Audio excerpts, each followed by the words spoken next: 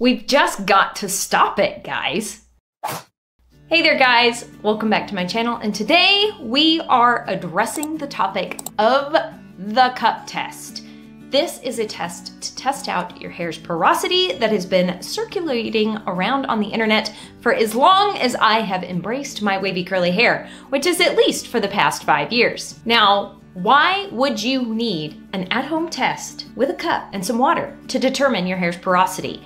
Well, there is this thought process, this theory that knowing your hair's porosity can really help you pick the right products for your hair and wildly improve the health of your curls and get you the curls of your dreams. Now, before we get in to why the cup test is garbaggio, why don't you go ahead and subscribe and click that notification bell because I selfishly want to see your beautiful shining face again here on this channel. I am honored and very grateful that I get to hang out with each and every single one of you on your healthy hair journey. I am here trying to do my very best to help you embrace the hair that you are fearfully and wonderfully made with.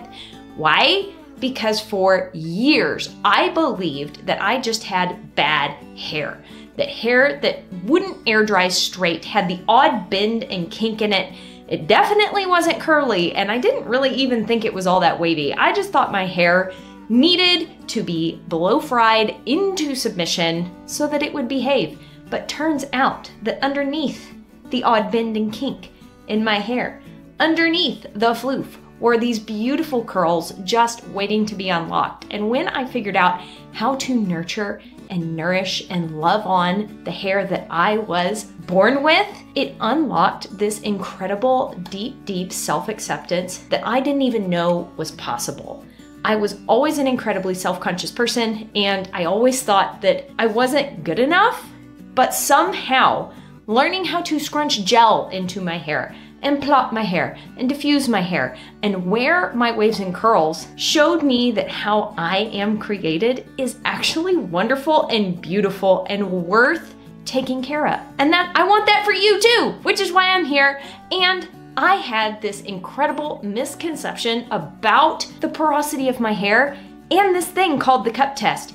You best believe the instant I heard of the cup test, I did the thing. What the cup test is, is you take a cup of water and place a hair on the surface of the water and how fast your hair sinks or floats and whether or not your hair floats or sinks will tell you if you have low porosity, medium porosity, or high porosity hair. Hair porosity is a spectrum, guys. It is not you are low porosity, you are high porosity. There's this wide, wide range of in between of hair porosities, so just keep that in mind. But if your hair is super low porosity, in theory, in the cup test, your hair will float. It will not absorb any of the water because those hair cuticles are laying down really nice and tight, really, really flat, and your hair can't soak up any of the water, floats on top of the water, you have low porosity hair. If you have high porosity hair, the idea is that all those hair cuticles are way lifted up. There's lots of openings, holes, and gaps for water to soak into the hair. And your hair will sink. And it will sink rather quickly, meaning that you have high porosity hair. If you do the cup test, you put your hair in and it sinks. It's high porosity because it soaked up all the water really quickly, high porosity. Now that we understand what the cup test is, let's talk about all the problems with this test. The first problem with the cup test is, is that it is nearly impossible to remove all oil and product buildup from the hair before doing the test. And any product left on your hair will interfere with the results of the test. In order for the test to work perfectly, the hair has to be completely and utterly product free. This is what every website that talks about the cup test will tell you you have to do.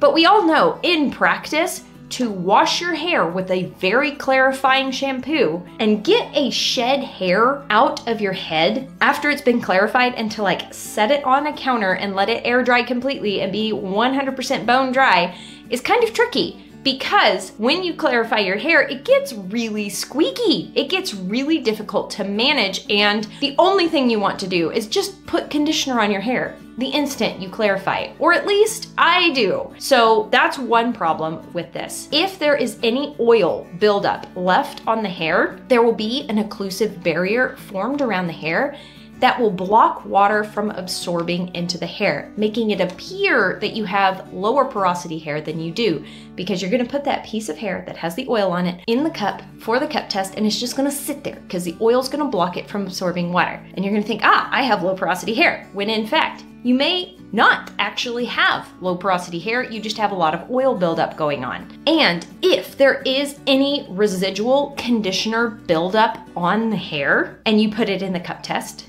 and you think you got all the conditioner off, but there's still conditioner on your hair, it is going to break the surface tension of the water way more quickly, and that hair is going to sink much faster than if that conditioner weren't left on the hair. And it's going to make your hair appear that it's higher porosity than it may or may not actually be. The conditioner is affecting how the hair interacts with the water. Another factor is how fine or coarse your hair is. Did you know that water has this thing called surface tension? I kind of mentioned it in the first issue with the cup test.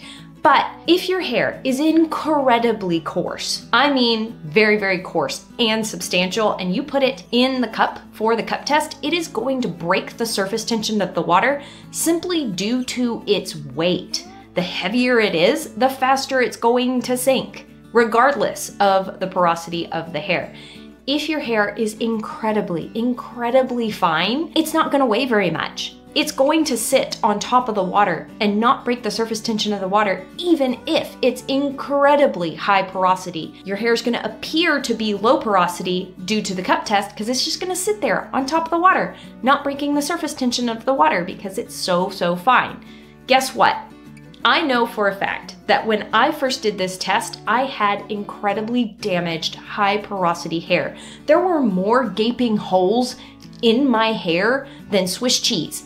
It was ridiculous. But I did this cup test, put my hair on top of the water, and guess what? It floated there for days. Why? Because my super high porosity, super fine hair never broke the surface tension of the water. So for a long time, I thought I had low porosity hair when in fact my hair was incredibly damaged and incredibly high porosity. Another factor that affects the cup test is how humid or dry the climate is in which you live. If it's an incredibly humid climate, your hair cuticle is naturally going to be more lifted because your hair is going to be slightly swollen from having absorbed some of the moisture from the air. Now, if you do the cup test and it's incredibly humid, you're going to put your hair on the surface of the water and assuming we break the surface tension of the water, the hair is going to sink faster because that hair cuticle was lifted simply due to the humidity in the air. If it's incredibly, incredibly dry, same thing. Your hair cuticle is gonna be more sealed, more closed. Humidity will affect how quickly your hair sinks or if it floats on the surface of the water. Another issue with the cup test is, is that you are only testing one strand of hair and you can have multiple, multiple, multiple different porosities in different areas of your hair if your hair is finer in certain areas, if it's coarser in others, all affect what the porosity is of that strand. And think about it. When you go get your hair highlighted, do they highlight every single strand on your head? Not usually. Usually what they're doing is they are taking bits and pieces and weaving the highlights through your hair.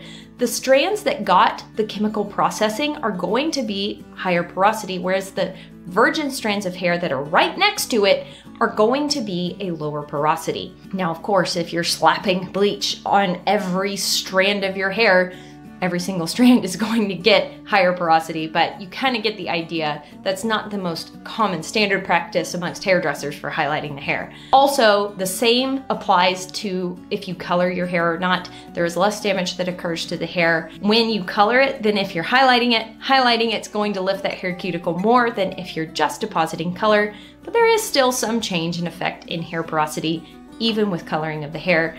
And you can even increase the porosity of your hair due to friction. I have higher porosity hair right here at the nape of my neck simply because of how I sleep at night. Even though I'm sleeping on a silk pillowcase and decreasing friction, I still wallow on that pillowcase and it roughs up that hair cuticle, increasing the porosity of the hair at the nape of my neck, whereas the porosity of my hair over here is lower because simply there's less friction that it comes into contact with. If you have really long hair and you wear your hair down often, even the friction rubbing against your clothes can increase the porosity of that hair, make it more tangly. You know exactly what I'm talking about. Not only is hair porosity on a scale and a spectrum, but you can also have different porosities all over your head. At your roots, your hair is naturally going to be lower porosity. There is this misconception out there on the internet that you can have naturally high porosity hair, that if you do nothing to your hair, the instant it sprouts out of your scalp, it's going to be high porosity simply because it's that way naturally. That is false. And the reason is, is that when hair grows out of your head naturally, it is going to be completely virgin, completely undamaged, and that means it is low porosity. All those hair cuticles are going to be laid down in a beautiful, smooth, sealed way. Now, what happens to your hair directly thereafter is up to you. I believe the misconception where people think they have naturally high porosity hair, they either have incredibly, incredibly fine hair, which tends to become higher porosity more quickly than coarse hair, or they get bleach, color, and highlights instantly the moment the hair grows out of their head, making them believe that they have naturally high porosity hair when in fact they are just increasing the porosity of their hair due to their relationship with their stylist and their highlight color schedule. The last problem with the cup test is, is that it is subjective. It is incredibly difficult to control all the variables of this test and how hard you drop the hair on the water will determine whether or not you break the surface tension of the water simply by dropping the hair on it. If you have incredibly long hair, are you going to just take the ends of it and do the cup test with just the ends? Perhaps you observe the results of the test and you feel like it kind of sort of sinks at a medium-ish pace and therefore you have medium porosity Whereas if somebody else were to observe the exact same test, they would assume that the rate at which that hair fell was fast and therefore the hair is high porosity. It's too subjective. There are no clinical data points that are proven to determine whether or hair is high, medium, or low porosity. Which brings us to the end. I'm sure you are very bummed and sad at this moment, wondering, Courtney, then how the heck am I supposed to determine my hair porosity because I need to know this in order to choose the correct products for my hair. I get it. Not having this piece of knowledge can be quite irritating and frustrating. And there is an actual way to determine for sure what your hair porosity is, but it does require you to ship a sample of your hair off to a lab to be examined under a microscope. Now, the one company that I knew of that did this actually has closed its doors and is no longer in business. There are some other ones, but I don't personally have any experience with any of these. So if you, there, in the comments right there, you, can you help us out and comment down below if you have a really good trusted lab for testing hair porosity, that would be great. I would really appreciate us helping each other out in the comments. Y'all are really good at that, and I deeply appreciate when y'all are helpful like that. But do you really need to know your hair porosity? If you're a hair nerd like me and really find this stuff interesting, by all means, let's ship our hair off to a lab to be tested so that we can know our hair porosity. Why? Because it's fun. But I'm going to let y'all in on a little secret you don't actually need to know your hair porosity to improve the health of your hair and to get the best curls you've ever had.